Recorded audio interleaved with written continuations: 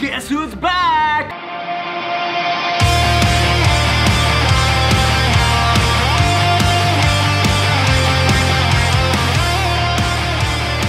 Oh, what's in the box? What's in the box? What's up guys? It's Ramsey back with more unboxings and oh my god it's been a crazy quarantine i thought i was going to just make a bunch of content unfortunately i've been busy doing i guess saving my businesses but look at all the stuff that piled up during that time also during that time i did film some content but it's so out of date now i never had a chance to edit it so here we are tons of boxes i'm not gonna open them up all at once i'm gonna pick a few and break this up into I guess, several segments. But man, I have some really cool stuff and I can't wait, can't wait to dig into this. All right, guys, so we're gonna concentrate on these boxes that I got in from CGC. What did I send out? I have no idea, but I did send them to Gary Kendra from ImpressiveComicBooks.com to get cleaned and pressed, and they're probably looking really beautiful. But I'm gonna use the Sword of Conan to open them up. Whoa, uh, a little too close there. Let me see if I can do this without destroying what's inside. Whoa, that actually worked pretty good. All right, thank you. I think that was his father's sword or something. Sword of Atlantis, maybe? Something like that. All right, so this is how CGC sends their stuff. Nice little box, bubble wrapped to prevent damage.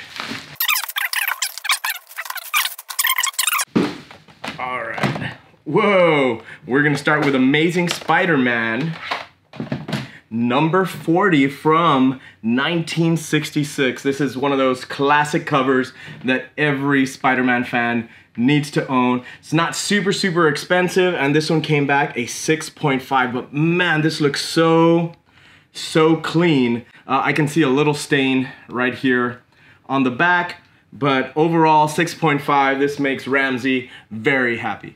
All right guys, so excuse the sweat. Our air condition went off this morning and it is hot as balls in here. Can I say balls? It's probably all dudes watching this anyway. Hot as balls in here, so you know what I'm talking about. So I'm sweating up a storm, but okay. So next on the list, Fantastic Four number 50. And yes, this looks pretty good too. This was wrinkled to hell and Gary really did straighten it out. You can see uh, some of the corners are missing, uh, but overall 6.5. Really excited to have this in my collection. Hell yeah, Silver Surfer battles Galactus, Johnny Storm goes to college. Wow, first appearance of Wyatt Wingfoot. So classic Kirby cover, love it. All right, and the third one is Batman 251, another classic cover by Neal Adams, and this came back a 7.5. Again, wrinkled all to hell when I sent it over to Gary, and man, he was able to really straighten that out. Obviously, any any color breaks in the cover that can't really be fixed, but the wrinkles around it can be taken out, and that does does count for something. 7.5 Beautiful, beautiful cover. I'm so happy this came back at such a high grade. Very lucky. All right, so let's dig into this next box, but I'm not gonna use the Conan sword. All right, we're gonna use a nice little sharp blade, get it done quick.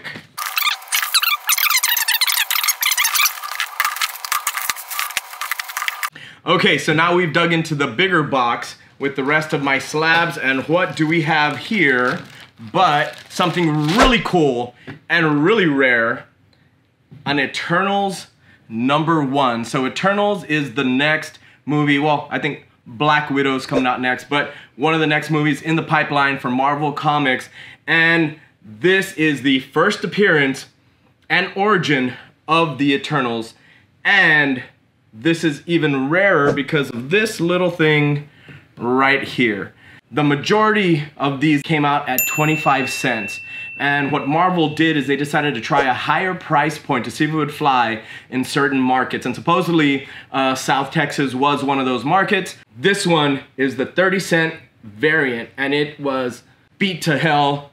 And wow, I can't believe how clean he was able to get out a lot of the wrinkles and get me a 7.0. This is this is insane. I thought it was gonna come back like a four or five. Oh, all right. So here's yet another, another cool one. This is Saga number one from Image Comics. This came out in 2012 and it came back a 9.8. So this is probably the highest grade that any comic book collector sending something to CGC can kind of realistically get. Anything higher than this is really hard. But uh, Saga number one by Brian K. Vaughan and Fiona Staples. Such a great concept, great story. Uh, Brian K. Vaughan also is the author of uh, Y the Last Man. Uh, Pride of Baghdad is another really good one that you gotta read. But Saga is really good. And this is a white cover, so it stains very easily. But man, this looks really, really, really sharp. And what do we have here? Oh, speculation time.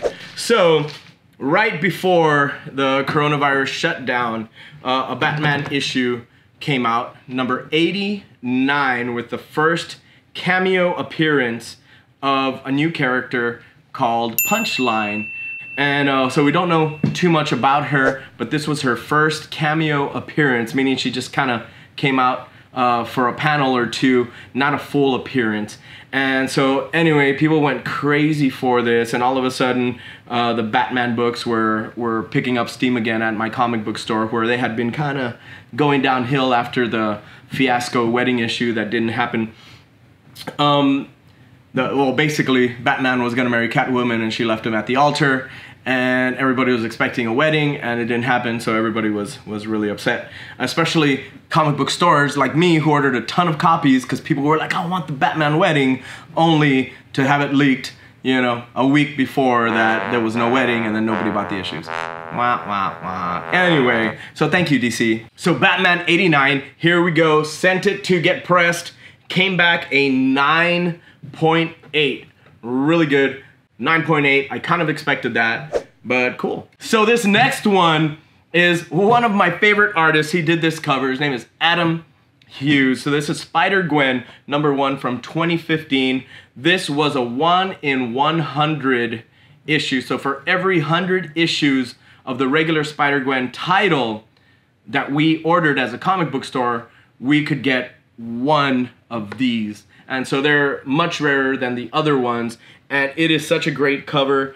And all the people on the Facebook groups said there's no way. I, I sent, I put close-up pictures. I was like, hey guys, what do you think? Do you think it's gonna be a 9.8? And was like, no way, it looks terrible. It's gonna be a 9.0. You're lucky if you get a 9.2. And lo and behold, 9.8. So that just goes to show, don't always listen to the people in the group. Some of those guys are really helpful, some of them are assholes. Wow, really cool. And not only did I have one, but didn't want to go. Two. 9.8 also. So anyway, like I said, Adam Hughes, uh, one of my favorite artists. He, he draws amazingly. And I got two Spider-Gwen 1 in 100 variants, 9.8. Now here's another really cool comic book. It's the Spawn Thanks issue.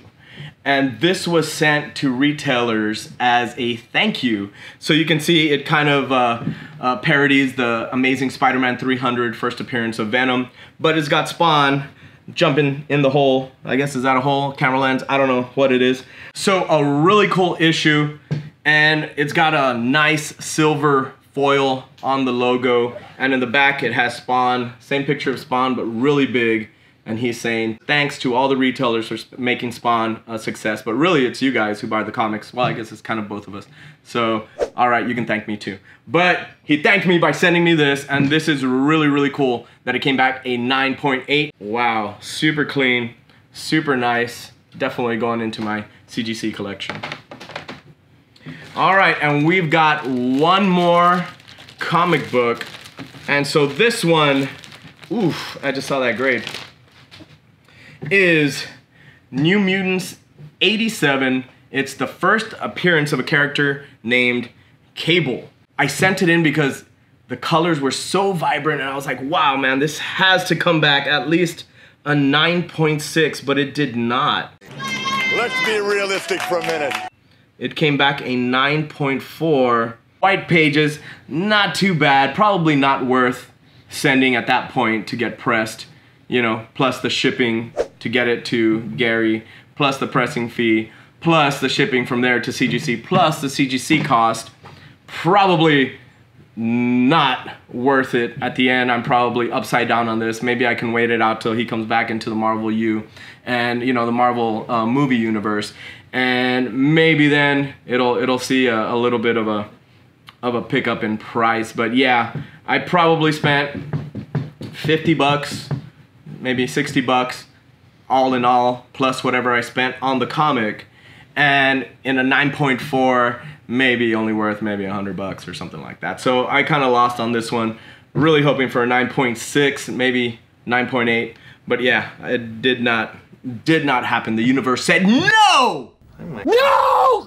No, Ramsey, you will not have your first cable 9.8. And oh well, I guess. All right, guys, so don't forget to subscribe. Also, right now, I'm going to give something away to you guys that I've been promising to give away for a while. It is the Hasbro G.I. Joe Classified Series Snake Eyes Cost more than your house.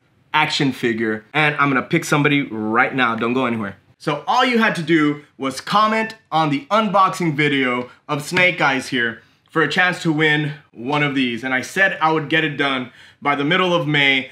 Unfortunately, the pandemic kinda, you know, caught me off guard and I couldn't finish the videos. But to make it up to you, I'm not just gonna give you one, I'm gonna give you two, two, two to two lucky winners in the comment section. I'm going to screen record this to make sure that you guys can see what I'm doing and that it's fair. Here goes. Start. Oh, oh, look at all those names flying across the screen. Oh, this is not, by the way, uh, sponsored by Audible, as the ad says. Alejandro Cantu, you are the first winner of the G.I. Joe Classified Snake Eyes. Make sure you hit me up in the comments, send me a message, and I will get this to you. All right, pick another winner. I'm gonna hit it. Start. And hopefully it's not the same guy. All right, look at those names flying across.